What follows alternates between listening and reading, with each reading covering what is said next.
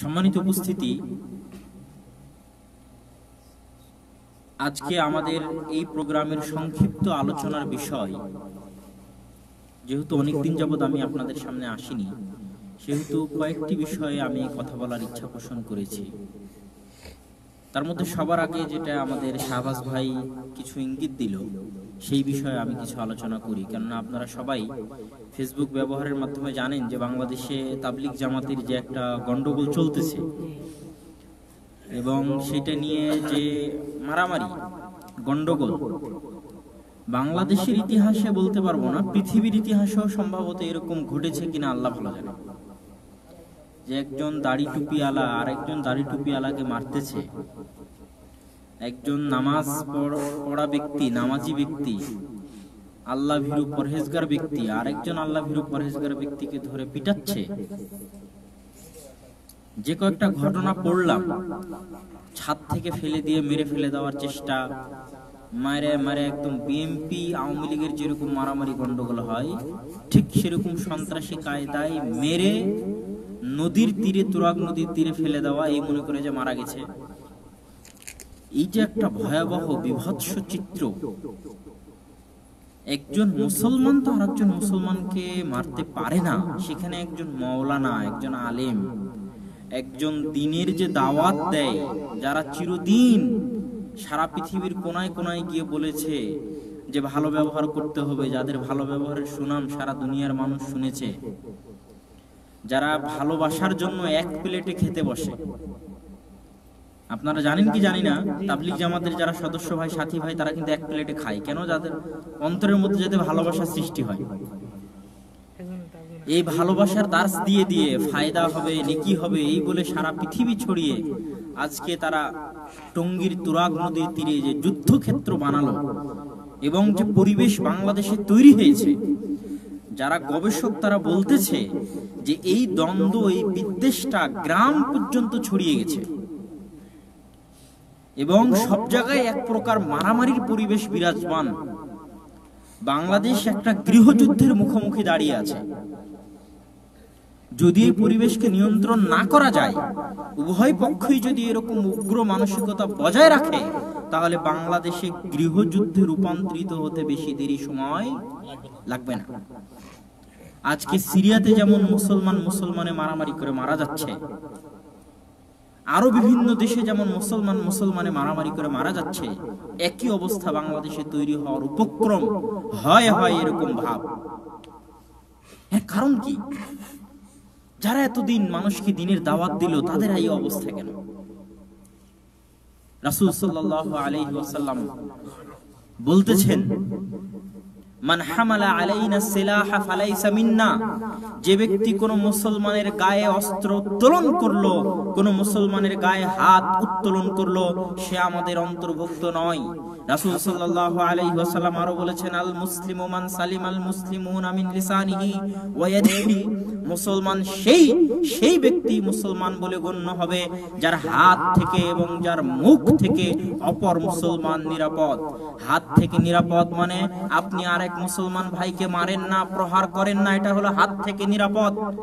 আপনার মুখ থেকে নিরাপদ মানে আপনি আর এক মুসলমান ভাইয়ের গিবত করেন না আর এক মুসলমান ভাইয়ের নামে অপবাদ দেন না তুহমত দেন না দুর্নাম করেন না এটা হলো মুখ থেকে নিরাপদ হওয়া। রাসূল সাল্লাল্লাহু আলাইহি ওয়াসাল্লাম বলছে মুসলমান সেই যার মুখ থেকে এবং যার হাত থেকে আর এক মুসলমান নিরাপদ আর যার মুখ এবং হাত থেকে আর এক মুসলমান নিরাপদ নয় সে মুসলমান নয়।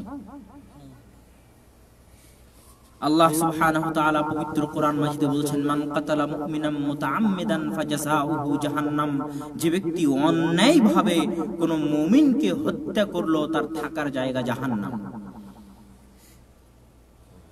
সে জাহান্নামে চিরস্থায়ী থাকবে। তার উপর আল্লাহ সুবহানাহু তাআলার অভিশাপ এবং আল্লাহ সুবহানাহু তাআলা তার জন্য কঠোর শাস্তি প্রস্তুত করে রেখেছেন। একাধারে আল্লাহ এতগুলো শাস্তির কথা বলছেন, ওই ব্যক্তির জন্য যে ব্যক্তি আরেকজন মমিনকে অন্যায়ভাবে হত্যা করেছে। রাসূল সাল্লাল্লাহু আলাইহি ওয়াসাল্লাম হাদিসে বলছেন, আল্লাহ সুবহানাহু তাআলা একজন মুমিনকে যদি কেউ অন্যায়ভাবে একজন মুমিনকে যদি সারা দুনিয়ার মানুষ অন্যায়ভাবে হত্যা করে, লাউ কাতালা আহাদুন মুমিনান, যদি সারা দুনিয়ার মানুষ, জামিউ আহলি দুনিয়া, সারা দুনিয়ার মানুষ কোন একজন মুমিনকে অন্যায়ভাবে হত্যা করে, তাহলে আল্লাহ সুবহানাহু তাআলা সারা দুনিয়ার মানুষকে জাহান্নামে নিক্ষেপ করতে দ্বিধাবোধ করবেন না। সারা পৃথিবীর ছয়শো কোটি মানুষ মিলে যদি একজন মুমিনকে হত্যা করে, তাহলে আল্লাহ ছয়শো কোটি মানুষকে জাহান নামে নিক্ষেপ করতে বিন্দু মাত্র দ্বিধা করবেন না। রাসূল সাল্লাল্লাহু আলাইহি ওয়াসাল্লাম আরেক হাদিসে বলছেন, কাবা ঘরের মর্যাদা, মক্কার মর্যাদা, হারামের মর্যাদা এবং হারাম মাসের মর্যাদা। যে তোমরা আজকে কোন মাসে আসো, আছো, তো আমরা হারাম মাসে আছি এবং যেই জায়গায় আছো, যেই শহরে আছো, সেই মক্কা শহরে, সেই কাবা ঘরে, সেই হারাম মাসের, হারামের এরিয়ার যে মর্যাদা, তার চাইতেও একজন মুসলমানের মর্যাদা বেশি।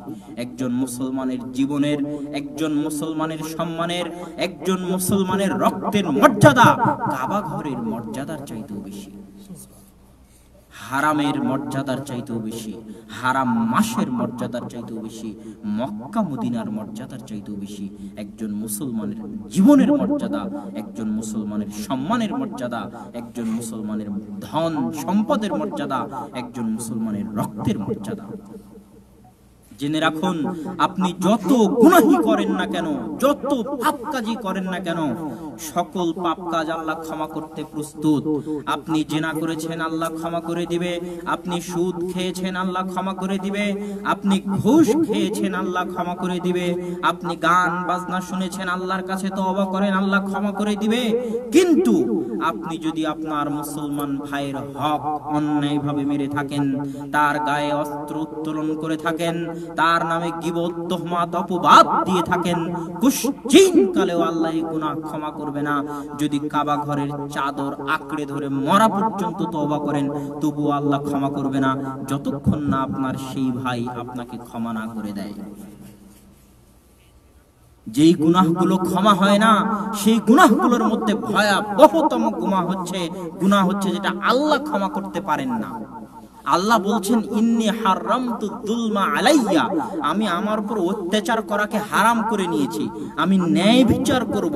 তো আমার কোনো বান্দার তুমি দশ টাকা মেরে নিয়েছো, আর আমি যদি তোমাকে ক্ষমা করে দিই, তাহলে আমি ন্যায় বিচারক হতে পারলাম তুমি আমার কোন একজন বান্দাকে হত্যা করেছ, আর আমার কাছে ক্ষমা চাইবে, আমি যদি ক্ষমা করে দিই, তাহলে যে বান্দাকে তুমি হত্যা করেছ, আমি ওই বান্দার প্রতি অত্যাচার করলাম।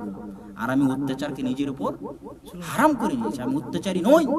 এই জন্য তুমি যাকে হত্যা করেছ তার কাছে ক্ষমা চাও, যার টাকা মেরে খেয়েছো তার কাছে ক্ষমা চাও, যার গিবত করেছ, যার নাম অপবাদ দিয়েছ তার কাছে ক্ষমা চাও।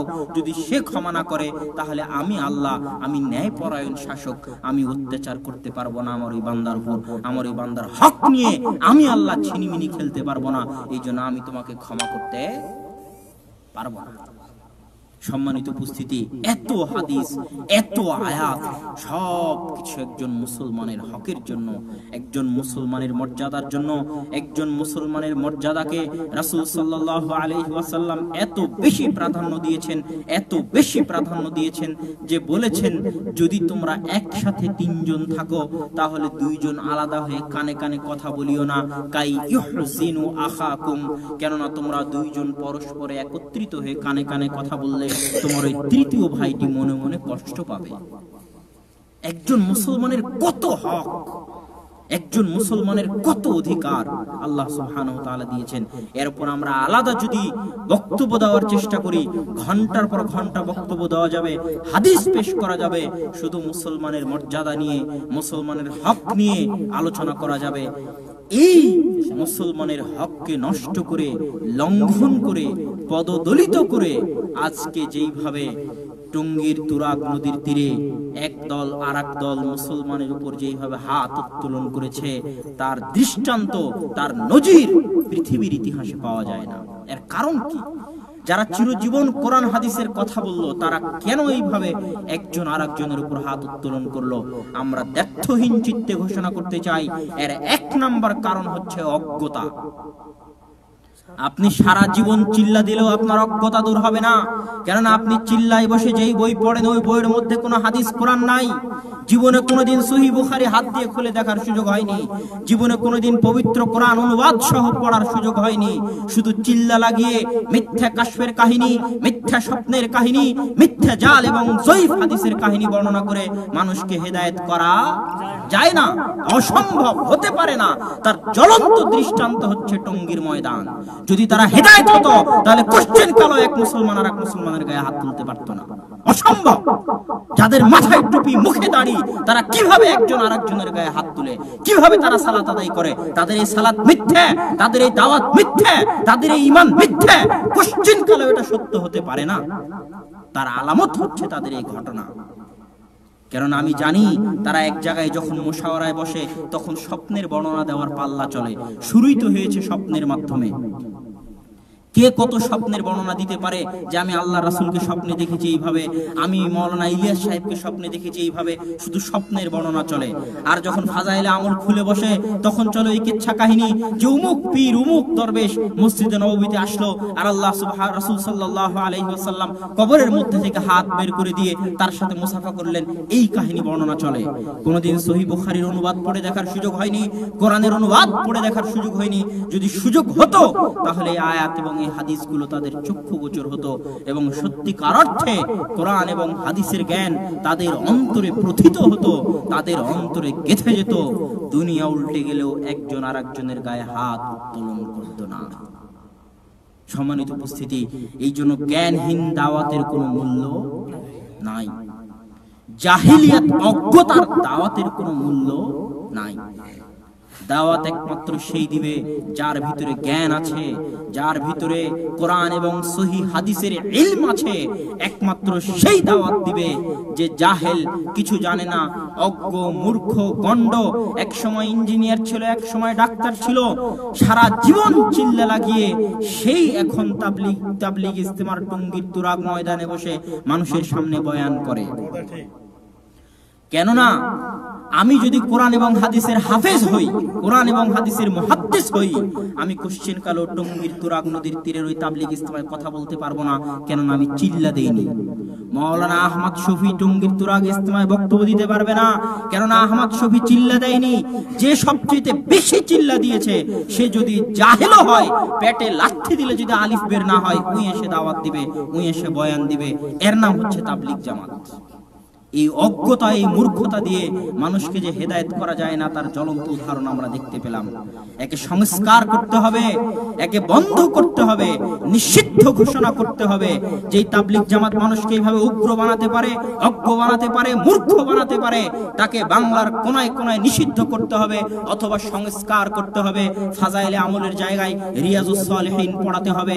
আল্লামা ইমাম নববী রাহিমাহুল্লাহর লেখা ফাজাইলে আমল বিষয়ক সবচেয়ে বিশুদ্ধ গ্রন্থ, সবচাইতে সুন্দর গ্রন্থ, যেই গ্রন্থে আপনি ফজিলতের হাদিস পাবেন, অন্তর গলানো হাদিস পাবেন, সেই বইয়ের নাম কি?